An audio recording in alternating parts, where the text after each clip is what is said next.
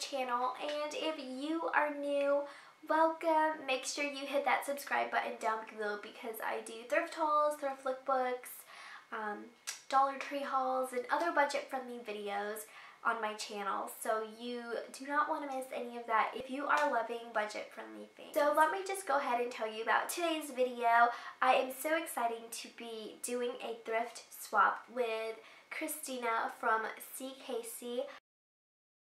I have known her for a long while now, probably more towards the beginning of when I started doing YouTube earlier this year and I'm just so so excited to be doing this with her.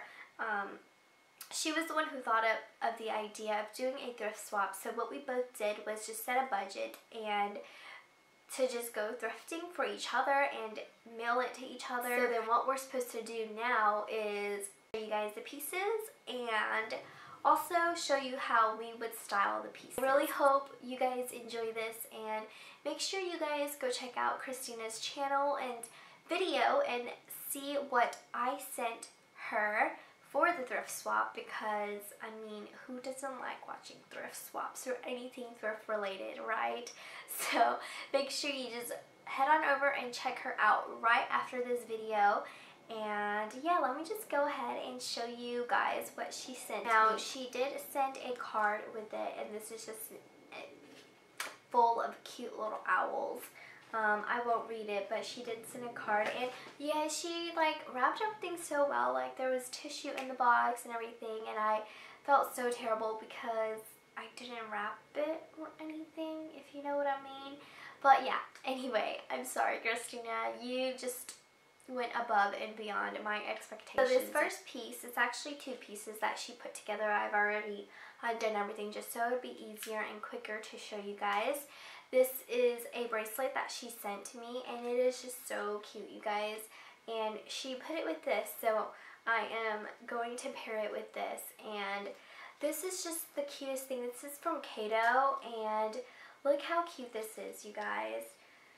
It is so colorful and it's totally 70s vibe here. Look at this with the sleeves and the, look at the crochet detailing right here just on this little part of the sleeve. It is so, so cute and I cannot wait to style this piece along with this bracelet for you guys, which will be coming up later in this video. The next piece right here is this vest. It is so cute and this is from Petite Sophisticate. And it is just so cute with the like chain detailing with the different colors here and the gold button detailing.